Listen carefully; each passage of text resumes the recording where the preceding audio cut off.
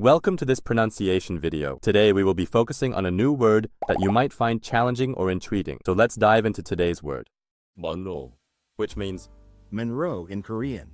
let's say it all together.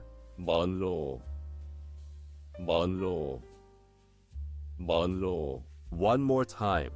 Monroe, Monroe, Monroe.